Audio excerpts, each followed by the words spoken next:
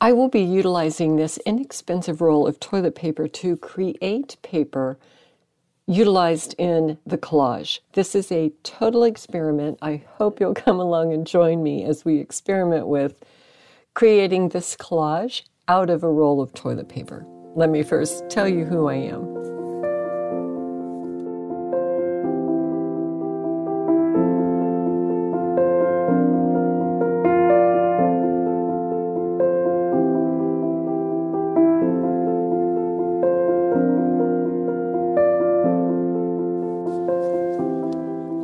Now, the first thing I shall do is put this toilet paper down on the deli sheet. The deli sheet has a slick surface. I am going to paint this paper and I am going to spritz it with some water to give it some texture. So I want something that it's not going to stick to. I'm going four horizontal and then I'm going across vertically. What you're not going to see here is I'm going to spritz this with water, then come back with four more horizontally. I got aggressive in my editing, accidentally deleted the last little step and had deleted the file before I realized it. So bear with me.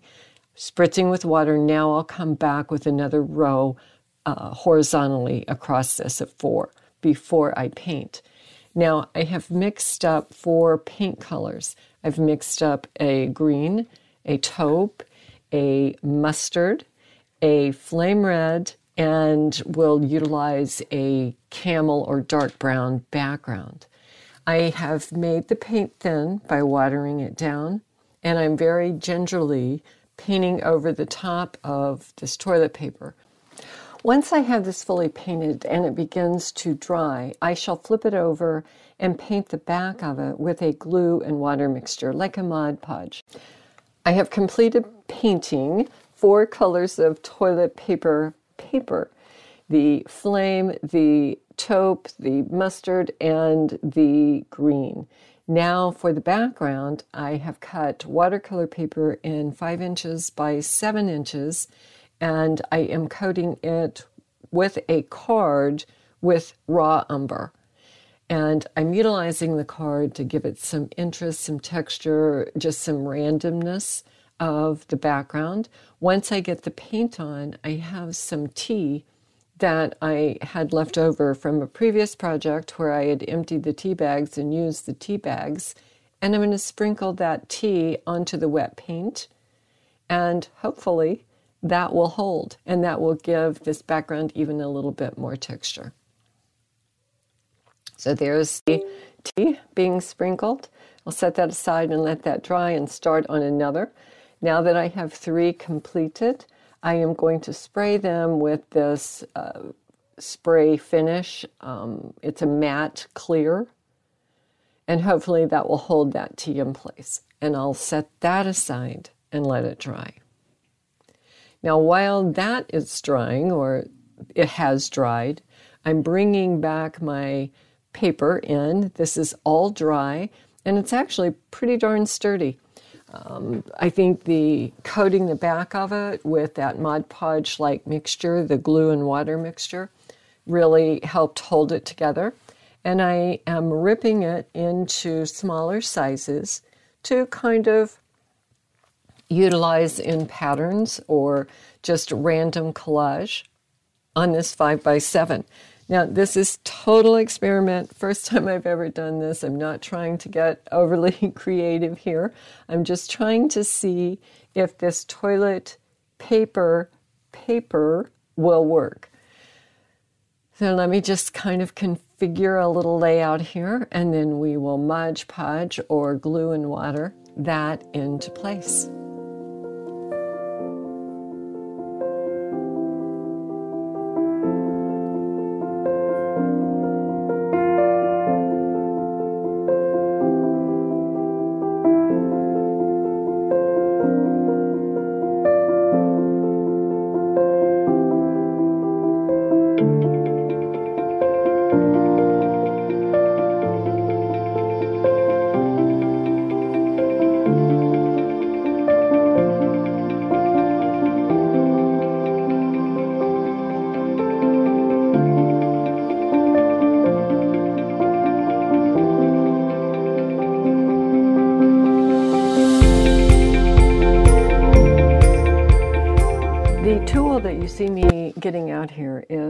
Encaustic art stylus. It is utilized in the encaustic art um, application of beeswax and damar resin. I'm utilizing it to punch holes through my little scraps of red because I thought that would make a more interesting kind of focal point on the top of these collages. Now, when you're utilizing a heat tool with paper, please be sure to have plenty of water around. I have a fire extinguisher beside my desk. I have a tub of water sitting atop, but I did not find that this heat tool created any significant risk. Now you can use a punch to create your holes. You can utilize a piece of incense. You can utilize a um, wood burning tool. So there's all kinds of things that you could use to create these holes. Now that I have everything glued into place, I feel like there needs to be something added with a little more interest. So I pulled out some gold leaf and what I am doing here, I am applying the adhesive, the metal leaf adhesive, onto a bottle cap. And I am just going to stamp that right onto this collage. Now, I'm actually going to read the directions, and it does say to allow it to sit to become tacky before you apply the metal leaf. So I'm going to follow those instructions. Now I've given it a moment. I'm pulling in the gold leaf and putting it where I have that adhesive in the circle. And you can see I have two other pieces up top, kind of waiting to for this particular process. And I'm just punching that gold leaf down onto that adhesive. I have a dry um, fan brush here that I am just removing any of the pieces of gold leaf that have not stuck. So now I have this little gold circle atop my collage. And I've done that to all, all three of these. And two of them came out great. And the one I did not wait long enough for the glue to for the piece to dry and there was still a little bit of tackiness from when I applied the paper down. So you can see that that kind of did not represent itself the way I wanted it to. So I will accentuate that circle with a little bit of gold. So I'm utilizing the same, or not gold, with black. I'm utilizing the same bottle cap and I am just putting a little black circle inside my metal gold leaf. And that one I'm still not overly happy with, but we'll set it aside and allow everything to kind of cure and dry. To just one of these, I've poked some holes and have decided to string some copper wire through those holes. So I utilized my craft pick and just poked holes up the one edge of this collage. And what you're seeing me do here is just threading that copper wire through those holes. And I used a heavier gauge. I picked up a heavier gauge than I thought I did. And once I had started with it, I decided to stay. I used a 20 gauge. I would recommend a 24 gauge copper wire or wire of any choice or anything you want to string through there. If you want to string fabric, punch some holes and string some fabric through. Um, that's another good application on on a collage. You could even string um, some embroidery floss through a needle and just sew up the edge to create a little interest. In this particular one, I chose to use the copper wire.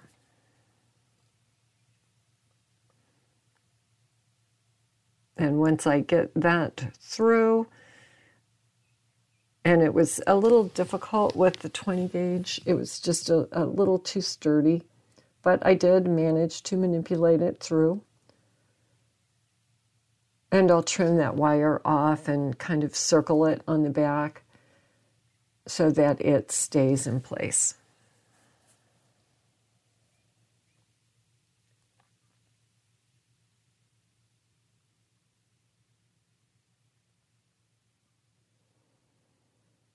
So there we go. And I'm just kind of applying some pressure to it to, to get everything to lay flat. I want to take you very quickly through this final collage um, utilizing the taupe background. So I'm just putting the taupe down with the same card application that I did before. I'm utilizing the same toilet paper and just tearing it into the pieces and will collage it into place. One of the things that I want to do is make this one very quick, very easy, very simple, but I found that I filled up, I think, too much of the others, and I wanted to do one in a smaller space. So that's what I'm trying to accomplish with this final little collage. And I think that looks pretty good, but I'm going to, I think, audition some of the taupe. So I think I think I'll settle on that.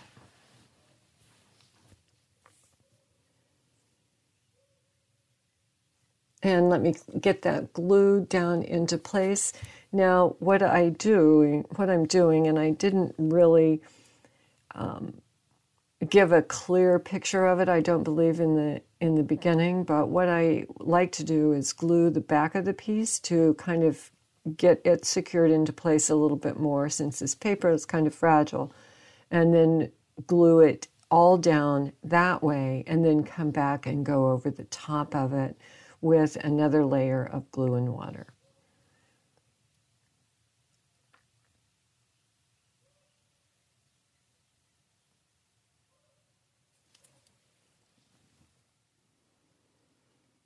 And that kind of completes everything. So I am pulling out some stickers of butterflies and looking for stickers that have kind of the representation of the color because I think these are boring and I think they need something. So I found this little butterfly that I think is going to work well. I've auditioned a couple on these colors. And I think that one I do like. Let's get him into place.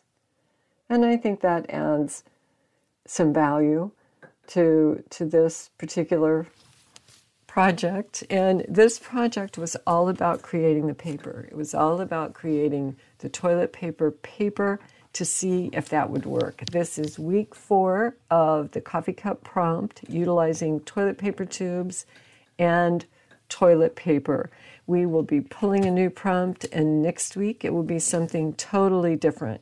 So I have successfully completed utilizing both toilet paper tubes in previous videos and toilet paper in this particular video here. So stay tuned for a quick photo montage of how these collages turned out,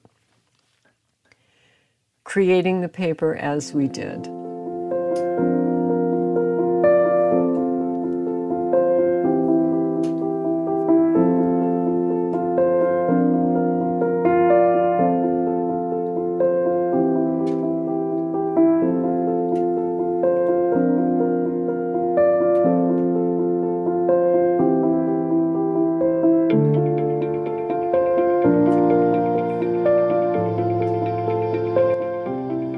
Now, if you would like to see the previous three weeks of toilet paper projects, you can find those in the playlist that I have here on the end screen. I want to thank you for sticking with me through this entire video. If you are still here, your comments and likes do help promote my channel, and I do appreciate them. I do like to read them. They do um, make me feel very warm, if you if that is uh, the proper terminology. But I do appreciate you being here. And if you haven't, please subscribe. And we'll get to pulling that next prompt. And I'll see you next week at the same time with what we'll be working on for the next four weeks. Bye for now.